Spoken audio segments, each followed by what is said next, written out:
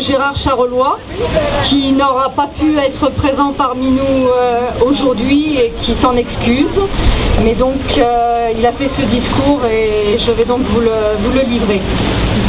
Euh, chers amis de la cause animale, nous qui défendons le vivant, qui célébrons et respectons la vie sous toutes ses formes, qui refusons toute souffrance, proclamons qu'aussi longtemps que l'homme traitera l'animal comme une chose, il traitera à l'occasion ses semblables comme des bêtes. C'est exactement ce que venait de dire Aurore. Ainsi, nous assistons à une marchandisation des veaux, des porcs, des poules, enfermés dans des usines à viande, à œufs, à lait, usines dans lesquelles ces êtres vivants, ces êtres sensibles, sont niés dans leurs besoins physiologiques et éthologiques essentiels. Ils sont réduits à n'être que des sources de profit, des objets auxquels l'homme retire toute existence.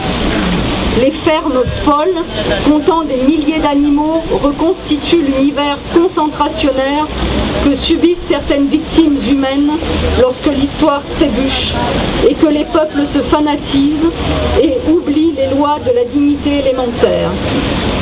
Mais cruel pour l'animal, cette à l'encontre duquel vous manifestez aujourd'hui tue également l'agriculture et fera disparaître les paysans d'antan. Plus besoin de petites fermes lorsque ces usines fourniront le marché en surplus de produits alimentaires. Le monde agricole n'a pas perçu le danger et l'on voit un syndicat agricole soutenir ce qui entraîne le déclin de l'agriculture d'autrefois.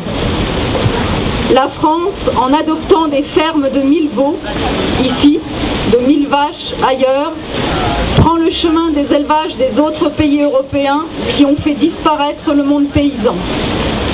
En conséquence, pour l'animal comme pour le social, il faut refuser ce délire productiviste que des groupes financiers tentent d'imposer en cette matière, comme ils agissent dans d'autres domaines contre les espaces naturels et partout et toujours contre la vie. Et moi j'ajouterais donc que non, les animaux ne sont pas des marchandises, ils ne sont pas des produits alimentaires. Ce sont des êtres sensibles qui ont la volonté et le droit fondamental de vivre.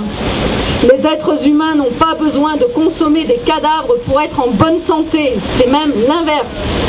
Et je lance un appel à ceux qui ne peuvent pas encore se passer de viande pour au moins réduire leur consommation car cela contribuera aussi à réduire la souffrance dans ce monde. Merci pour chaque vie animale épargnée.